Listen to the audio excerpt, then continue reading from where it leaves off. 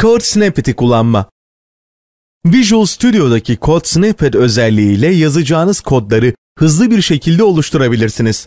Bu ders için şekildeki dosyayı açın.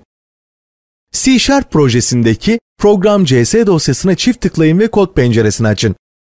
If sözcüğünü yazmaya başladığınızda IntelliSense açılır listesi görüntülenecektir. If sözcüğü üzerindeyken iki kere tab tuşuna bastığınızda if kod parçası belirleyecektir.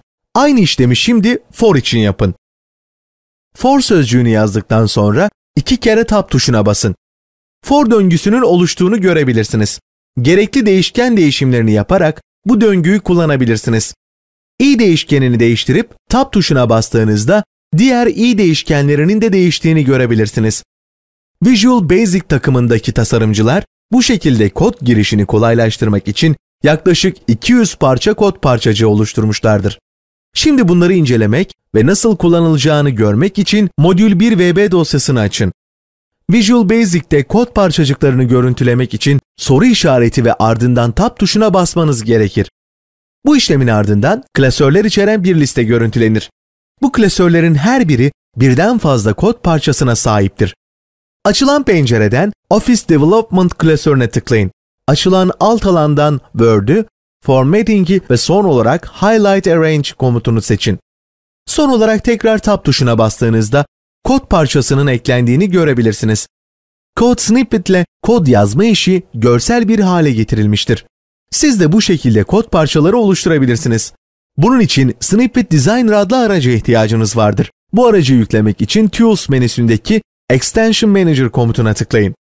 Açılan pencereden Online Gallery seçeneğine tıklayın. Kurulacak aracı bulmak için arama kutusunu kullanabilirsiniz. Aracı yüklemek için Download düğmesine tıklayın. Açılan pencereden Install düğmesine tekrar tıklayın. Snippet Designer hızlı bir şekilde kurulacak ve araç yanında ona işareti belirecektir. Araç kurulumundan sonra Visual Basic'i yeniden başlatın. Şimdi ders başında açılan projeyi açın ve program CS dosyasını görüntüleyin. Bu dosya içinde açıklama satırları bulunmaktadır. Buraya yazılan kodlar Code Snippet aracına eklenmek istenmektedir. Öncelikle açıklama satırlarını kaldırmak için Ctrl K ve ardından Ctrl U tuş kombinasyonlarını kullanın. Seçili kod parçasına sağ tıklayın ve açılan listeden Export as Snippet komutuna tıklayın. Snippet dosyası görüntülenecektir. Bu kod parçasında değişecek yer MyList yazan değerdir. Bunun için bu alanı seçin ve sağ tuş menüsünden Make Replacement komutuna tıklayın. Tüm değerlerin değiştiğini görebilirsiniz. Son olarak bu dosyayı kaydetmeniz gerekir. Bu kod parçaları özel bir klasörde olması gerekir. Bu klasör C Sharp için şekildeki gibidir. Dosya adını değiştirin ve kaydet düğmesine tıklayın. Şimdi bu kod parçasını dosyaya eklemek için eklemek istediğiniz yerde sağ tıklayın ve Insert Snippet komutuna tıklayın. Oluşturduğunuz kod parçası MyCode Snippet klasörü içindedir. Kod parçasına tıkladığınızda sayfaya eklendiğini görebilirsiniz.